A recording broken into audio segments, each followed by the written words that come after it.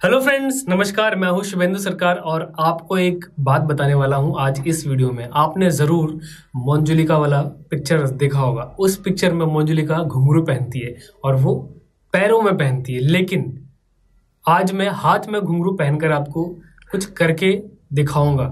मेरे हिसाब से मैं ये कर्तव्य कर रहा हूँ क्योंकि मैंने इससे पहले कभी ऐसा नहीं किया और मैंने बस थोड़ी देर पहले ही ये घुंघरू पहना और मैंने एक पैटर्न सीखा, जो मैं आपके सामने बताऊँगा और आपको बताना है कि ये पैटर्न आपको कैसा लगा।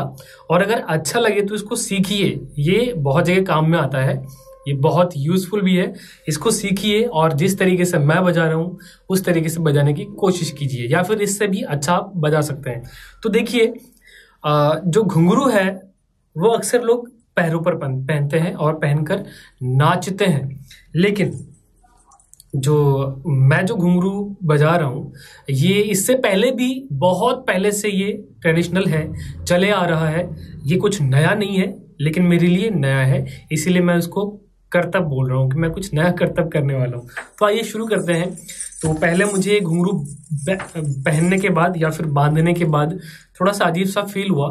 फिर धीरे धीरे मैं इसके साथ यूज़ टू होते गया अभी मैं आधे घंटे से कुछ बजा रहा था प्रैक्टिस कर रहा था तो ठीक था, बढ़िया था। मैंने किसी का सुना था, कोई लेजेंड थे, उनका मैंने सुना घुंगरू कैसे बजाए और घुंगरू बाँध के वो कैसे कव्वाली स्टाइल में बहुत सारी चीज़ें बजा रहे हैं। तो उसमें से मैंने एक दो चीज़ें सीखी है और मैं आपको वो बताऊँगा, वो सिखाऊँगा, आप बहुत अच्छे से सीख सकते हैं। और ये इतना ईजी है, मुझे नहीं पता था। ये बहुत ही ईजी है। आपको खाली बस टेक्ट समझना है।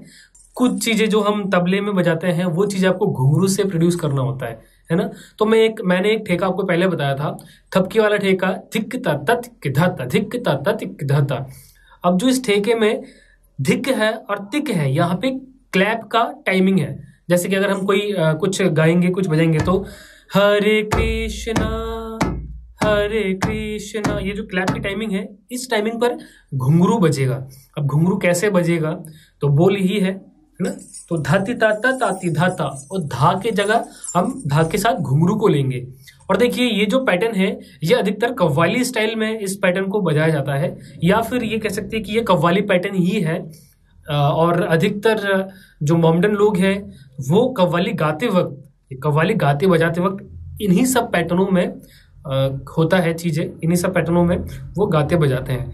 तो इसमें कई सारे, बहुत सारे पैटर्न हैं, मैं उसमें से आज एक पैटर्न या एक एक पैटर्न से थोड़ा सा मतलब एक डेढ़ पैटर्न दो पैटर्न मैं आपको बताऊँगा। डेढ़ पैटर्न का मतलब है छोटी सी तिहाई मतलब ऐसा कुछ, या मुखड़ा।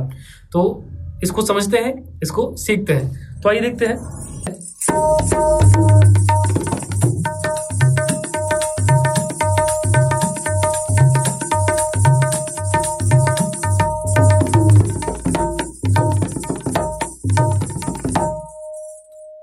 तो ये जो एक स्टाइल था इसका जो मेन पैटर्न है, वो कुछ इस तरीके से है। है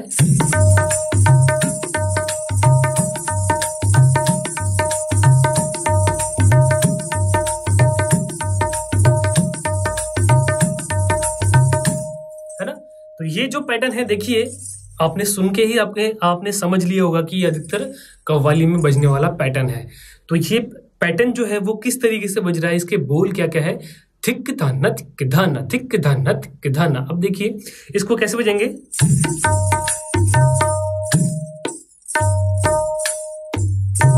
ना?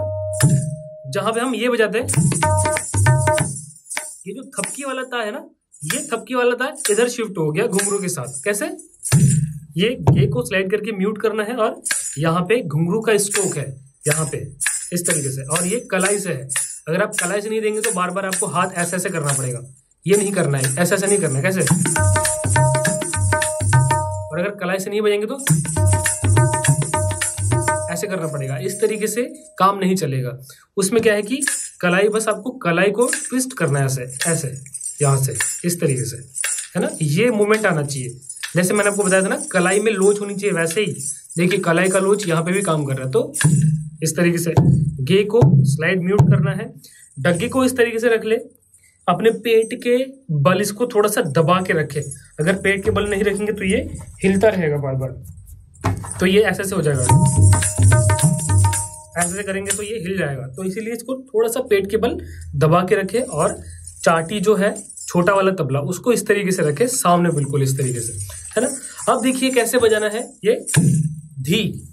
तो धी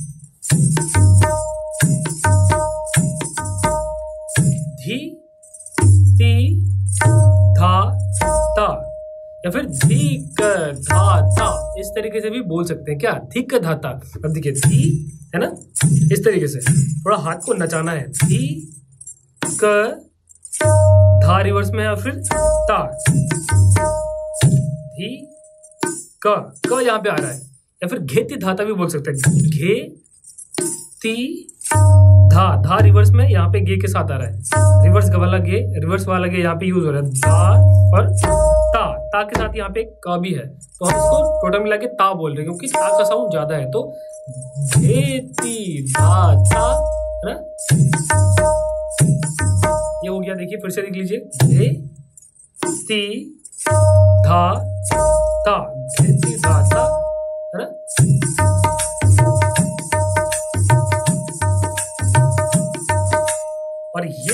आ रहा है फिर उसके बाद घुंगरू वाला स्ट्रोक आ रहा है। यहाँ पे सिर्फ़ घुंगरू घुंगरू वाला स्ट्रोक है और कुछ नहीं है। यहाँ पे घे नहीं बज रहा है। यहाँ पे क्या बज रहा है? इसको क्या कह सकते घेती धाता केती ताता या फिर घेती धाता तेती ताता या फिर घेती धाता तिकताता भी बोल सकते हैं। अपने हिसाब से आप, आप इसको समझ सकते हैं लेकिन बोलने के लिए मैं कोई भी इंडिकेटर ले लेता हूँ। घेती धाता तिकताता तो घेती धाता ती क ता ता तो घेती दाता ती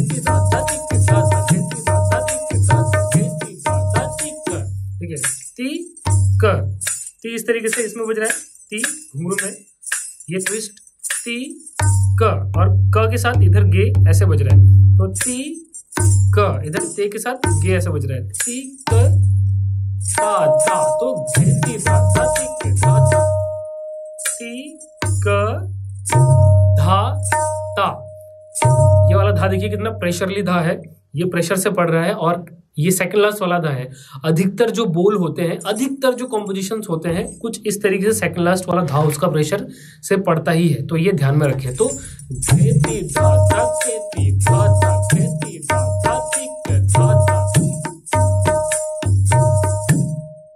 पहले वाला गे हमेशा फोर्सफुली पड़ेगा ये कवाली स्टाइल का थोड़ा सा रूल है। किस तरीके से? देखिए।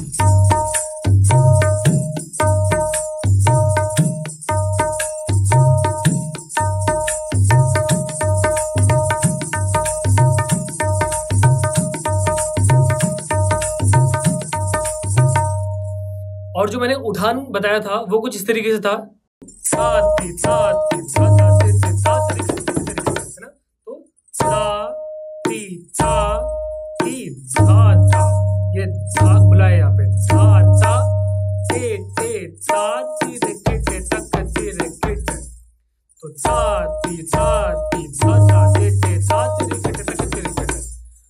ते ते तेरे कटे, वो जो ता है उसमें थोड़ा प्रेशर है। ये ध्यान में रखिएगा।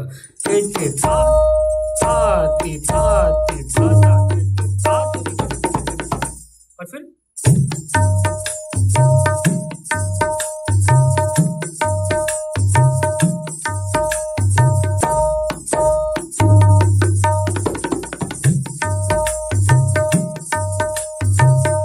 इस तरीके से ये बज रहा है। तो देखिए।